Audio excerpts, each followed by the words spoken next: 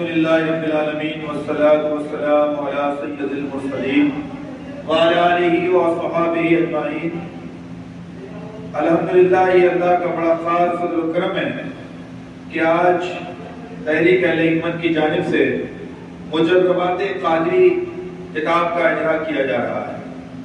ये वो दुनिया सुन्नियत की और दुनिया तिब की पहली किताब है जो हुजूर गौसे पाक की तरफ़ मंसूब की गई है। उनकी नस्बत से इसका नाम रखा गया। और इंशाअल्लाह मुझे उम्मीद है कि उनकी बरकतें अल्लाह ताला इसमें ज़रूर डाल देगा। इस किताब के अंदर बेशुमार नुस्खाजात, मुजर्रबात, मुशाहिदात बयान किए गए हैं।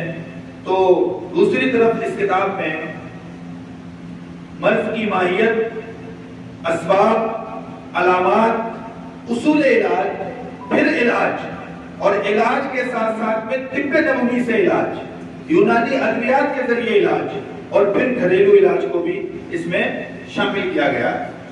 आखिरी सफात पर इसमें सेहतमंद ज़िंदगी गुजारने के लिए किन किन चीज़ों की ज़रूरत होती है और हमारे सुबह शाम किस तरह से होने चाहिए हिफान सेहत के उसूल भी बयान किए गए अगर इस पर इंशाअल्लाह अमल कर लेंगे तो मुझे उम्मीद है कि हम अमराज से महफूज रहेंगे।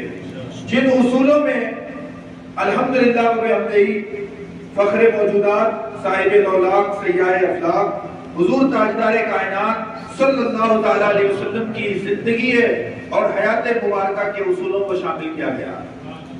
तो ये तहरीक अहले हिकमत के दीवानों के लिए, चाहने वालों के लिए एक बेहतरीन किताब साबित होगी और इस किताब से इंशाअल्लाह दर से हिकमत हुआ करेगा।